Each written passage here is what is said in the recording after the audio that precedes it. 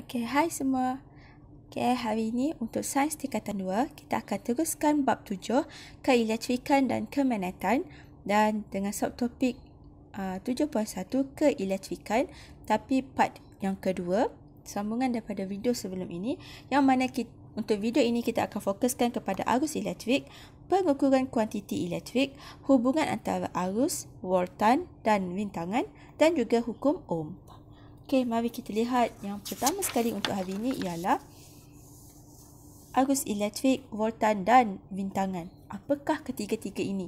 Yang mana ketiga-tiga ini sangat penting yang perlu anda ketahui dan kuasai. Okey, untuk kita mulakan dengan arus elektrik.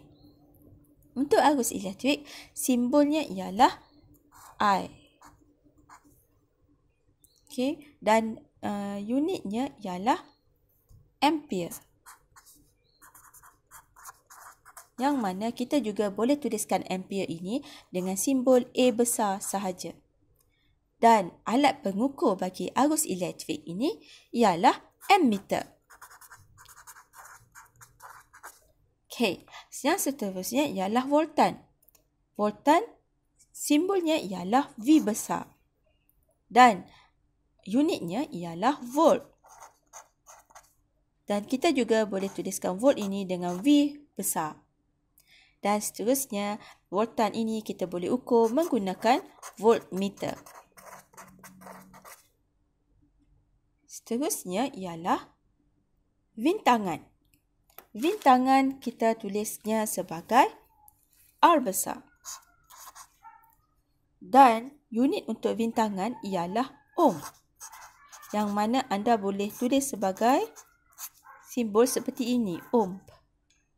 Okey, dan um, tiada alat pengukur yang diperlukan untuk bintangan tetapi kita boleh ukur bintangan menggunakan formula yang kita akan belajar sebentar nanti. Okey, ketiga-tiga ini adalah mudah dan perlu dikuasai. Baik, kita akan teruskan dengan arus elektrik. Apakah dia arus elektrik ini? Arus elektrik ialah kadar arus elektrik ialah kadar pengaliran cas elektrik. Okey. Okey, kadar pengaliran cas elektrik dan yang mana cas elektrik ini akan mengalir melalui suatu konduktor. Apakah dia konduktor? Contoh-contoh konduktor ialah uh, logam. Okey, contohnya wire logam dan wire logam. Okey, dan ini adalah contoh konduktor yang boleh mengalirkan cas elektrik. Okey, yang mana cas elektrik ini nanti perlu untuk di um, untuk membolehkan uh, alat elektrik untuk berfungsi. Okey, jadi um, cas elektrik perlu untuk alat elektrik berfungsi. Okey, yang mana tenaga pula perlu untuk mengalirkan caj elektrik dari sumber-sumber. Okey, dan ini adalah arus elektrik yang mana uh, caj elektrik ini dialirkan dan akan uh, melalui konduktor ini dan itulah yang kita sebut sebagai arus elektrik yang mana ianya bermula daripada sumber-sumber. Contoh sumber-sumber yang mengalirkan cas elektrik ini ialah penjana elektrik. Penjana elektrik yang pelbagai ada banyak sebenarnya generator kita panggil, okey.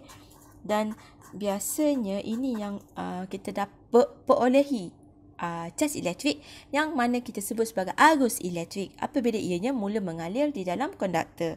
Yang kedua biasa kita pakai ialah sel kering iaitu bateri. Okey, biasa pun kita pakai untuk radio, untuk um, uh, jam, okey, dan untuk berbagai-bagai kaedah lagi yang mana daripada bateri ataupun sel kering ini akan dapat mengha- mengalirkan uh, cas elektrik yang mana akan menggunakan tenaga dan kadar pengalirannya itu kita panggil sebagai arus elektrik. Dan yang terakhir sekali yang kita uh, selalu gunakan sekarang ni ialah solar panel. Okey, yang mana ia merupakan antara uh, sumber tenaga yang uh, terbaik yang renewable, yang boleh diperbarui, yang tidak mencemarkan alam, okay, dan uh, sangat berkesan.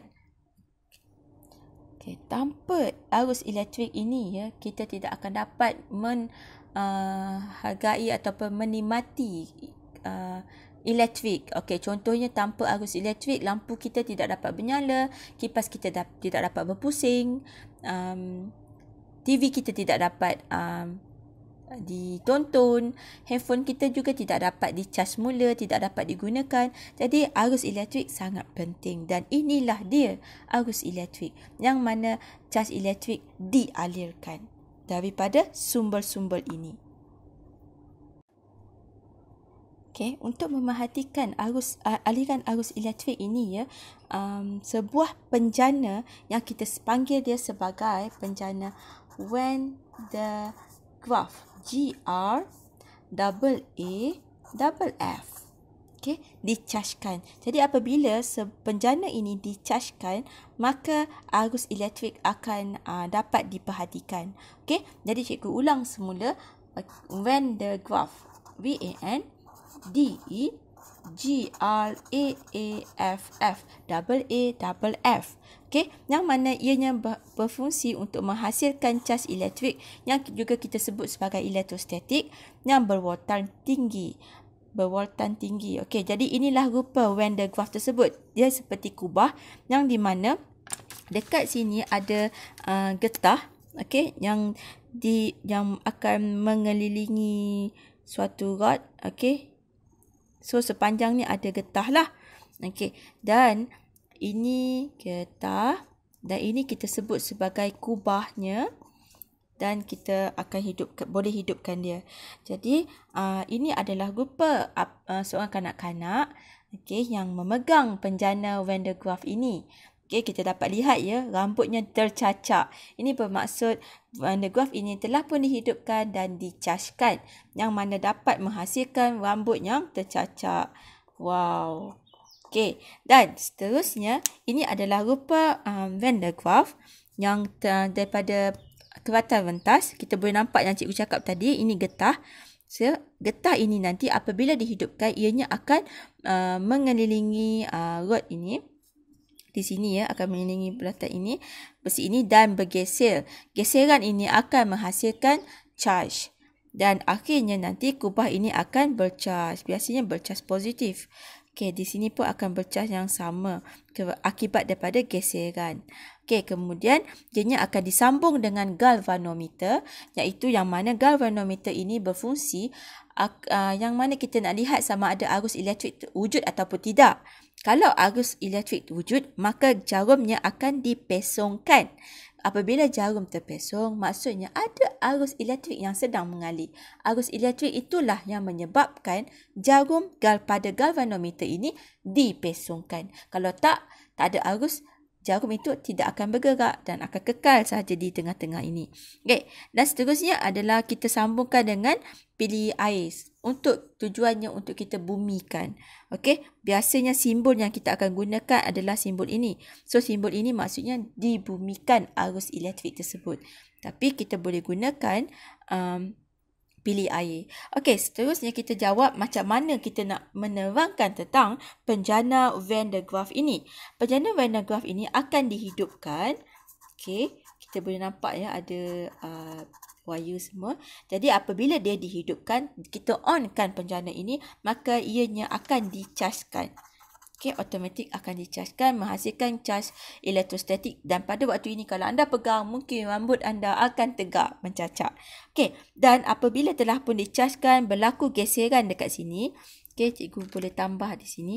Berlaku geseran, uh, getah tergeser. Jadi getah itu akan dicaskan. Okay.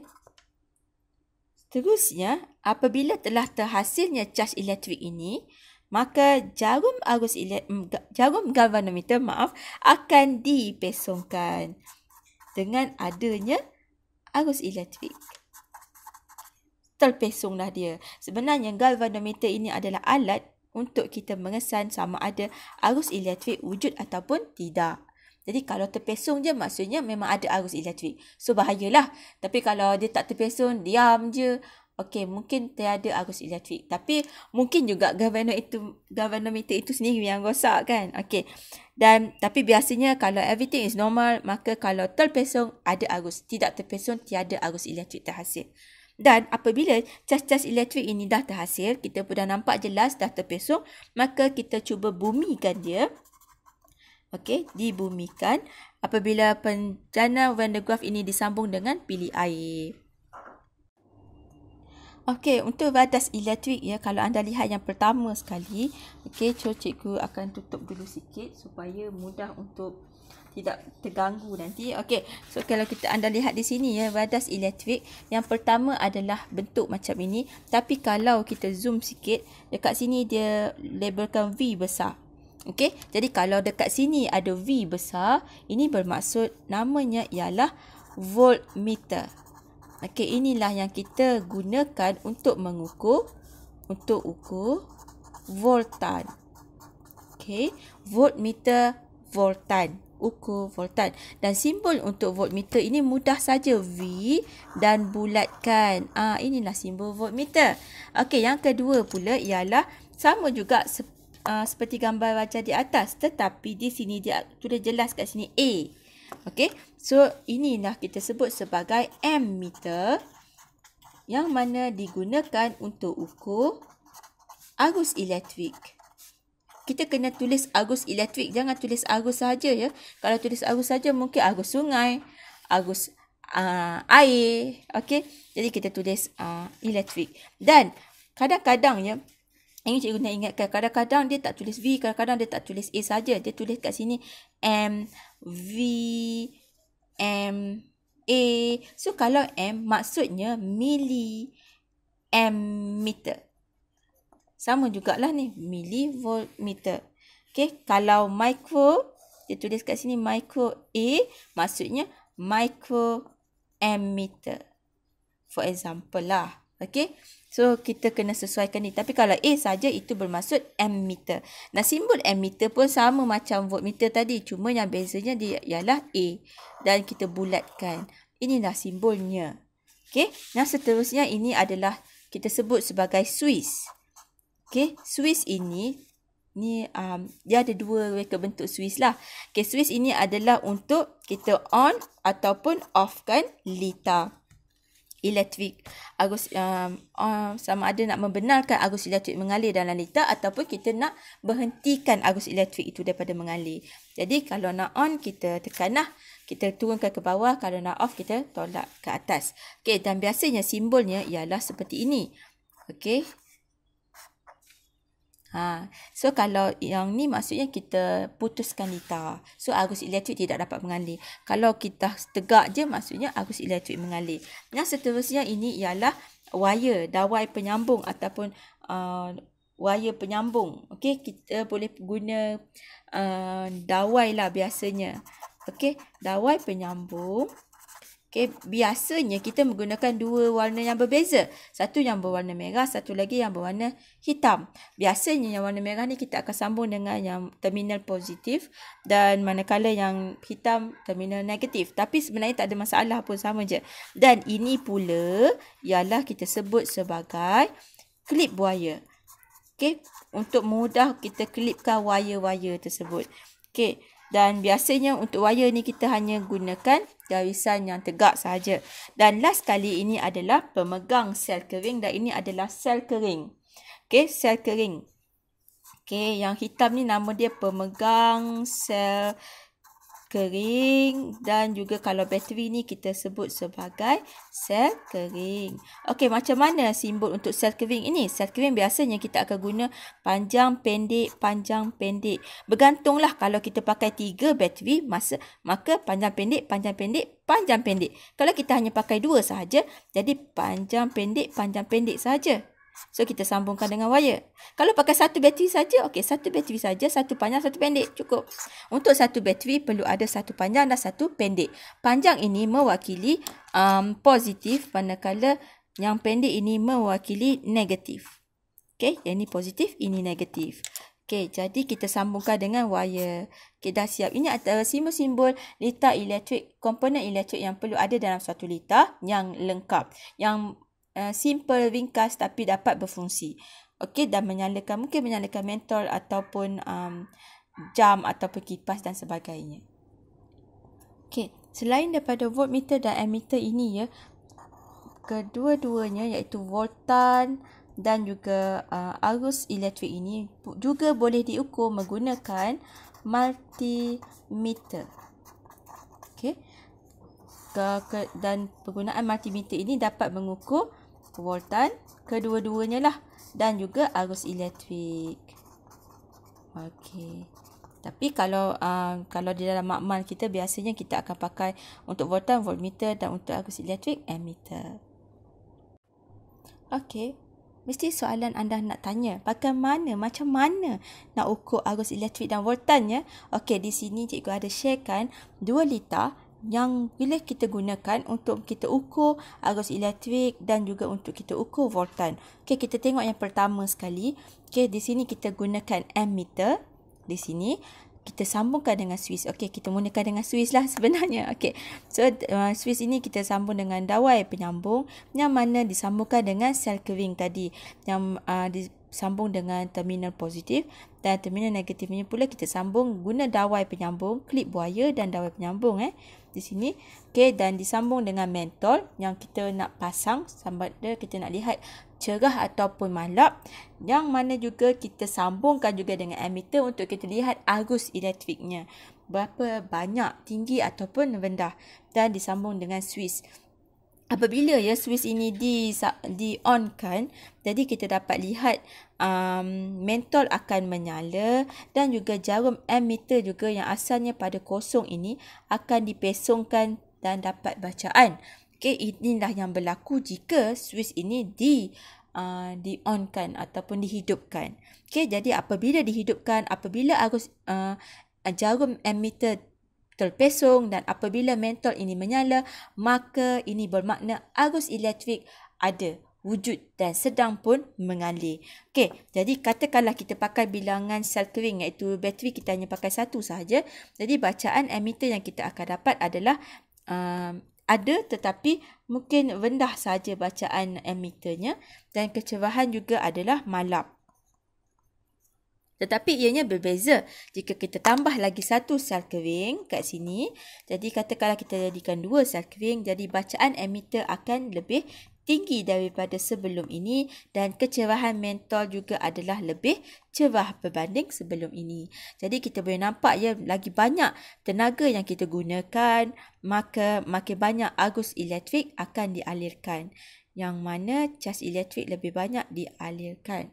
Okey, jadi dapat menyalakan mentol dengan lebih cerah, dapat memesongkan jam uh, jarum ammeter ini dengan lebih banyak dan dapat bacaan yang lebih tinggi. Jadi bacaan ammeter akan lebih tinggi jika uh, sel kering ini lebih banyak digunakan. Okey, manakala jika kita lihat pula untuk litar yang kedua, kita gunakan uh, voltmeter eh, bagi menggantikan ammeter, kita juga menggunakan sel kering, satu sel kering yang disambungkan klip buaya ini dengan pemegang sel, disambungkan dengan mentol. Dan mentol ini pula kita sambungkan uh, dengan voltmeter daripada satu sebelum dan selepas mentol inilah. Kerana voltmeter perlu mengukur beza keupayaan daripada satu titik ke satu titik yang lain. Okey. Dan seterusnya uh, kita sambungkan dengan Swiss dan Swiss ini tadi dah menggunakan klip buaya disambung menggunakan dawai penyambung ke sel kering. Okey. Jadi Mula-mula kita gunakan satu sel kering sahaja, jadi bacaan voltmeter adalah rendah. Kerana uh, voltan bagi satu sel kering ini uh, uh, mungkin adalah 1.5 volt sahaja. Kita boleh lihat ya pada bateri kita sebab dia dah memang dilabelkan pada bateri itu satu bateri ni berapa volt? 1.5 volt ataupun 1.0 volt. Okey, bergantunglah kalau lebih kecil bateri itu, maka volt yang dibekalkan adalah lebih rendah.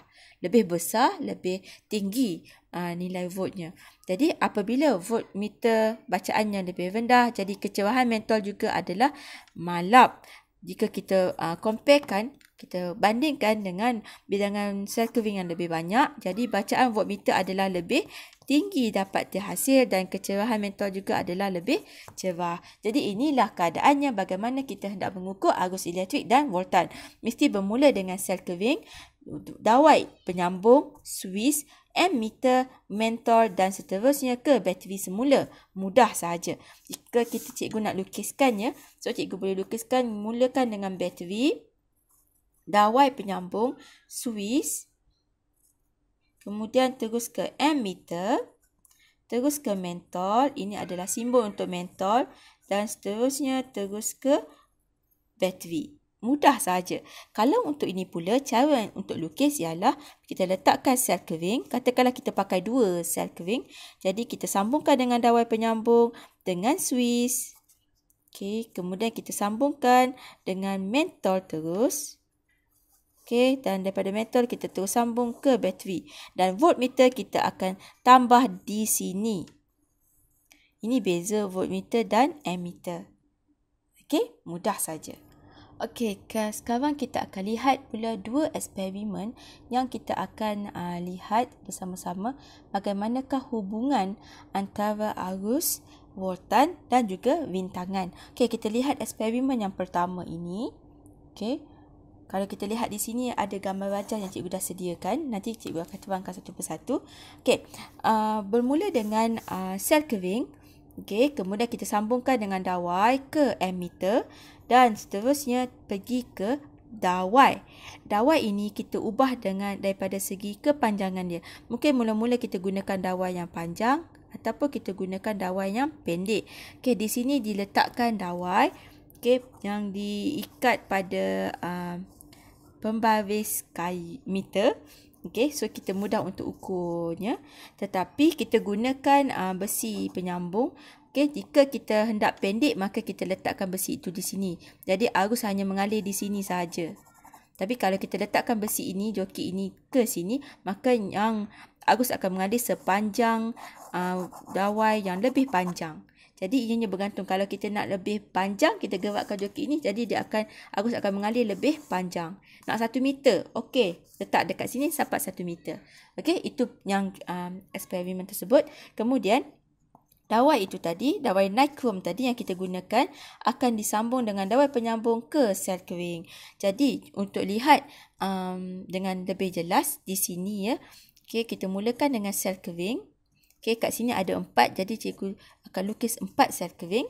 Okey, positif yang panjang, negatif yang pendek. Kemudian kita sambungkan ke ammeter, bulat dan A. Kemudian kita sambung ke panjang dawai nichrome. Okey, dawai nichrome cikgu buat macam ni. Okey, yang mana kita letak perlu ada pembaris meter. Okey, kita nak tengok sampai mana uh, kita nak ukur. Okey, lepas tu kita bersambung dengan sel kering ini. Okey. Okey, jadi sekarang ini tujuan untuk kita buat eksperimen ini adalah untuk mengkaji hubungan antara bintangan okey, bintangan uh, iaitu um, panjang dawai makrom ini dan juga arus. Okey, semakin panjang, cikgu tulis kat sinilah ya. Okey, semakin panjang dawai ini yang kita ambil nanti, panjang dawai panjang Okey, jadi bintangan dia juga akan bertambah kerana bintangan ini adalah uh, yang akan melalui arus tersebut kan. Jadi bila makin panjang, makin panjanglah bintangannya. Okey. Okey, jadi sekarang ni hipotesis yang kita nak buat ialah semakin tinggi Okey, semakin tinggi bintangan iaitu mungkin semakin panjang dawai yang kita pakai. Okey, kita nak tinggikan bintangan panjangkan dawai jadi semakin mm, rendah arus yang elektrik yang mengalir. Okey, cikgu tambah kat bawah ya. Yang mengalir melalui litar tersebutlah. Cikgu tulis yang mengalir saja. Jadi, pemboleh ubah pula yang kita manipulasikan, yang kita ubah di sini ialah panjang dawai nichrome tersebut. Okey, panjang dawai Okey, pemula ubah dimanipulasikan selain daripada panjang dawan nichrome itu sendiri. Kita juga boleh gunakan um, bintangan sebagai pemboleh ubah dimanipulasikan. Okey, Maksudnya semakin panjang dawai naikum, semakin uh, tinggi bintangan. Okey, bagi berkebab balas, kita boleh katakan um, arus elektrik Okey.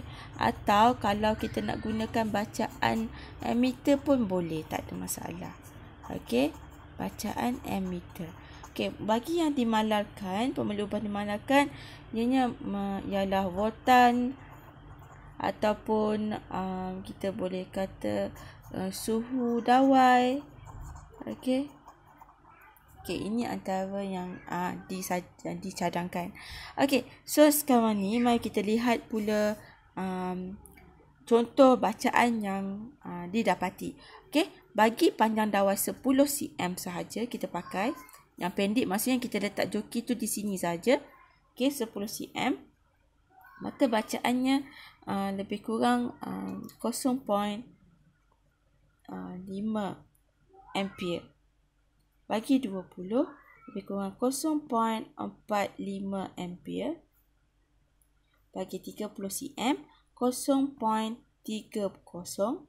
bagi 40 cm 0.20 dan bagi 50 cm 0.19 Okey, jadi kita dapat lihat di sini ya, semakin panjang dawai, semakin tinggi rintangan, maka arus yang mengalir adalah makin berkurang. Okey, jadi kita dapat simpulkan di sini apabila rintangan berkurang ataupun bertambah, okey, panjang dawai bertambah, okey, R pun bertambah, maka arus akan berkurang. Okey, jadi apakah hubungan panjang dawai dengan rintangan? Jadi semakin bertambah panjang dawai, semakin bertambah rintangan. Jadi hubungannya ialah panjang dawai berkadar terus dengan bintangan. Okey, maksudnya berkadar terus. Ataupun anda juga boleh jawab seperti inilah. Semakin ting bertambah ataupun semakin panjang. Semakin panjang uh, dawai. Ataupun semakin bertinggi lah kan. Okey, semakin tinggi panjang dawai. Semakin tinggi rintangan. Okey. So seterusnya ialah apakah hubungan panjang dawai dengan arus yang mengalir dalam lita? Jadi, semakin uh, bertambah panjang dawai, semakin berkurang uh, arus elektrik. Okey, sebab kita nak tengok yang ni kan. Jadi, kita boleh tulis panjang dawai berkadar songsang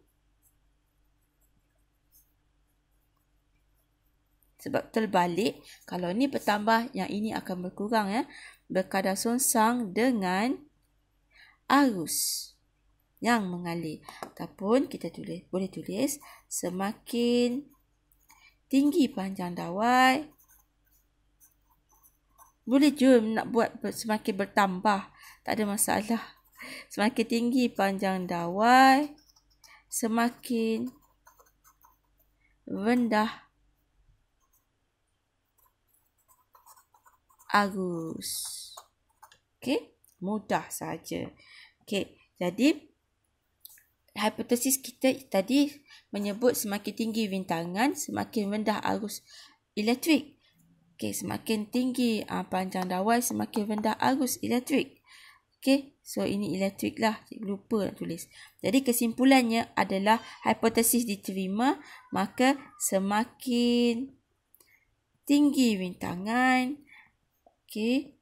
Maksudnya semakin panjanglah dawai itu. Okey, semakin tinggi rintangan, semakin rendah arus yang mengalir. Yang mengalir, yes. Dalam lita. Okey, dah siap untuk eksperimen ini. Okey, jelas. Ya. Baik, untuk eksperimen yang kedua pula ialah untuk mengkaji hubungan antara antara voltan okey kita tulis besar sikit voltan dengan dan arus okey elektrik. Jika tadi tentang bintangan uh, dengan I. So now ialah V dan I Okey. Jadi untuk V dan I ini semakin tinggi voltan voltan jadi semakin tinggi arus. Ini adalah hipotesis kita. Elektrik yang mengalir.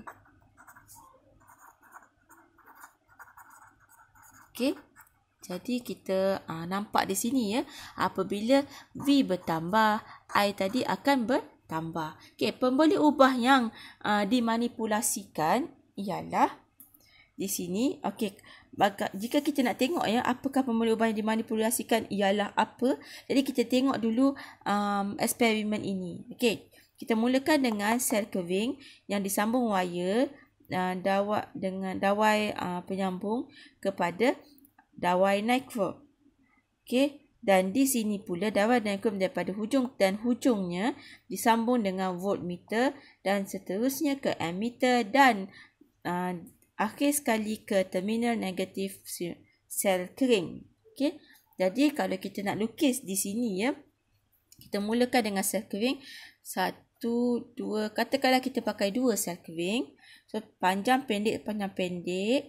Jadi kita sambungkan dengan dawai nichrome.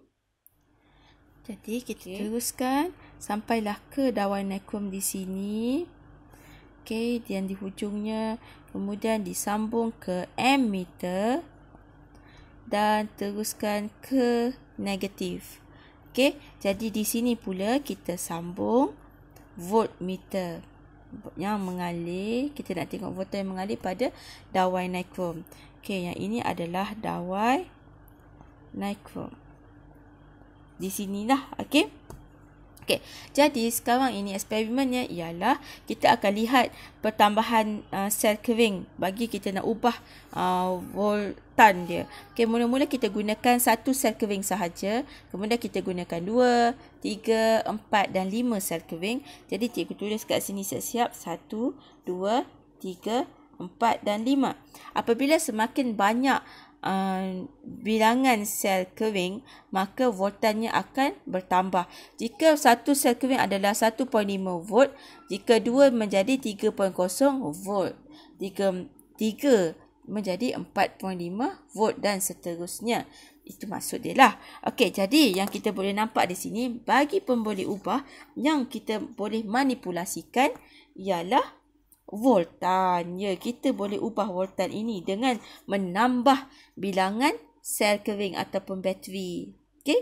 Kita tambah 1, 2, 3 dan 4 dan 5. Semakin tambah, semakin tinggi voltan.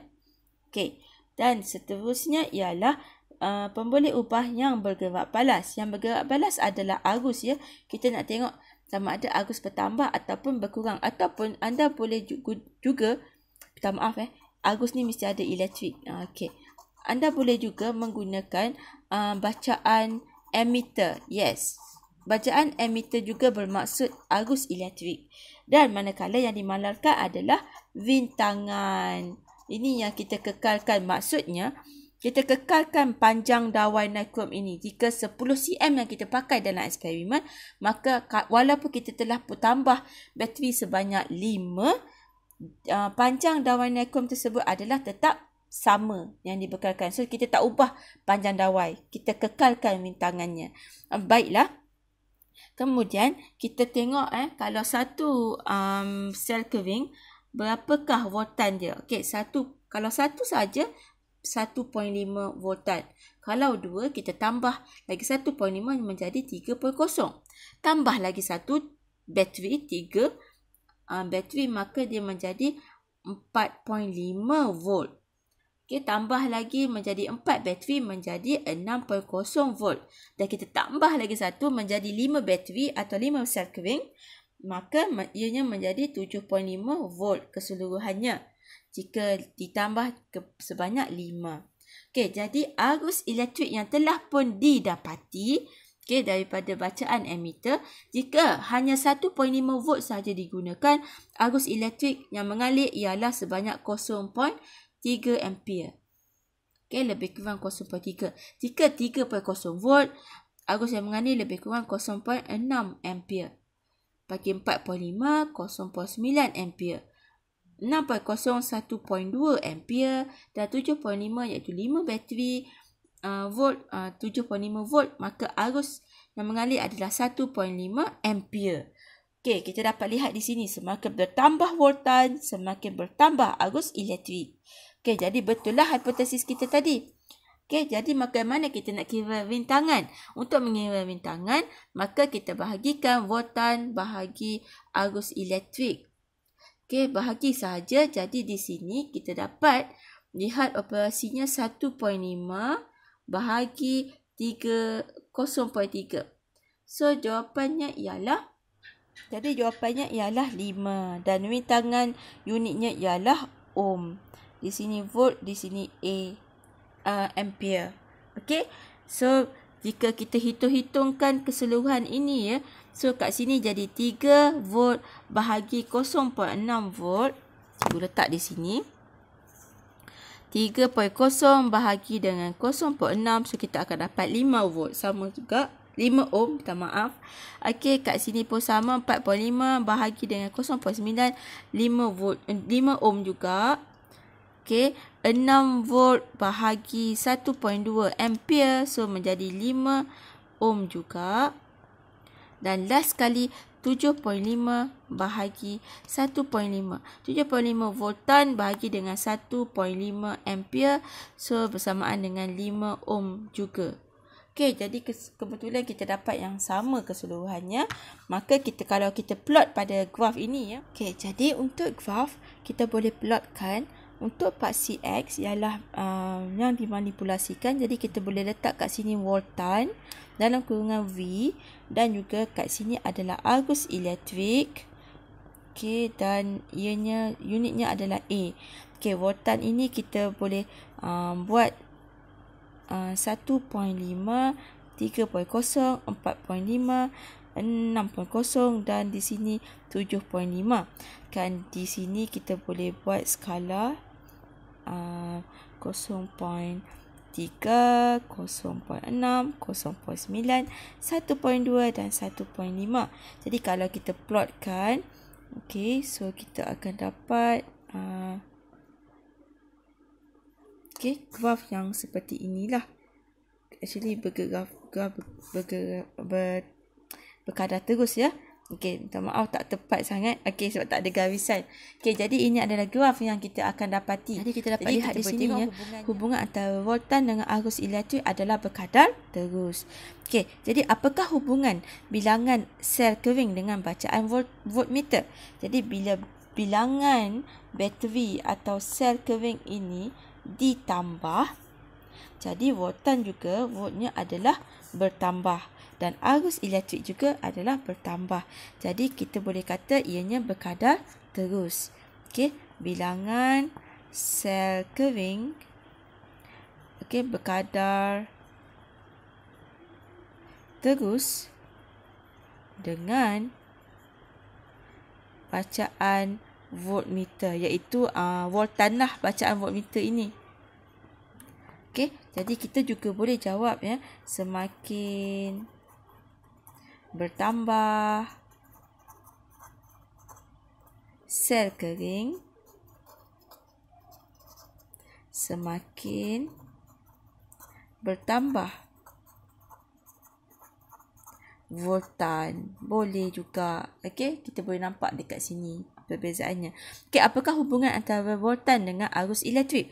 Wow kita dah dapat hubungannya. Okey hubungannya ialah berkadar terus. Jadi kita boleh tulis kat sini voltan berkadar berkadar terus dengan arus elektrik. Elektrik. Okey. Dan kalau kita nak buat dalam bentuk ayat untuk um, ianya sama seperti inilah. Okey, kesimpulannya ataupun kesimpulannya cikgu tulis macam ni. Semakin tinggi ataupun bertambah boleh je guna tinggi, boleh je guna bertambah. Tak ada masalah. Voltan semakin bertambah arus elektrik. Okey, ini adalah hipotesisnya dan ini juga boleh menjawab soalan di atas berkadar terus je maksudnya semakin bertambah dan semakin bertambah. Okey, dah siap dah eksperimen yang uh, hubungan antara V dan I. Okey, dan ini adalah uh, Encik Om. Okey, Mr. Om. Okay, dia menyatakan bahawa arus elektrik yang mengalir melalui suatu konduktor iaitu uh, dawai adalah berkadar terus dengan voltan. Okey, yang cikgu merah-merahkan ini adalah yang pentinglah dengan voltan yang mementasi dua hujung konduktor. Okey, konduktor di sini bermaksud dawai. Okey, arus uh, elektrik mengalir melaluinya. Okey, dan um, voltan yang kita ambil daripada hujung ke hujung konduktor ini. Okey, kita ambil sebagai uh, voltmeter dengan voltmeter ya. Jadi arus elektrik yang mengalir melaluinya adalah uh, berkadar terus. Macam kita dapat tadi, uh, graf dia kita akan dapat strict sahaja. Okey, dengan syarat suhu dan keadaan fizik yang lain adalah tetap. Jadi kalau kita nak ulang balik bagaimanakah um, lita yang lengkap Okey, so panjang pendek panjang pendek tadi.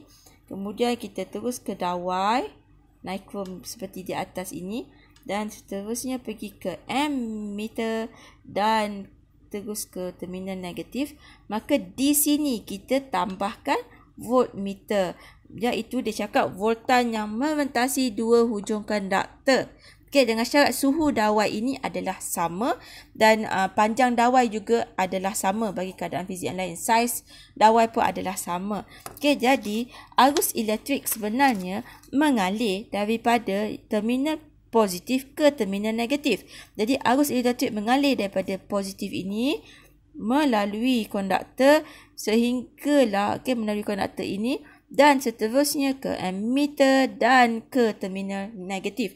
Jadi bagi sebuah lita yang lingkap arus elektrik akan mengalir daripada positif ke negatif. Jadi bacaan inilah bacaan arus yang cikgu buat merah inilah yang akan dibaca oleh emitter untuk mendapatkan nilai ampere-nya.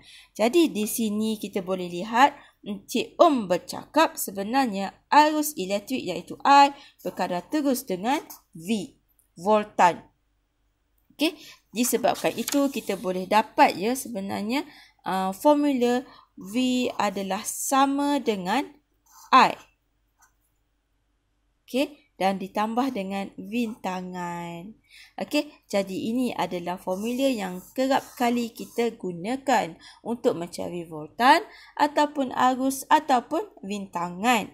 Okey, kerana ini menyatakan bahawa arus elektrik berkadar terus dengan voltan.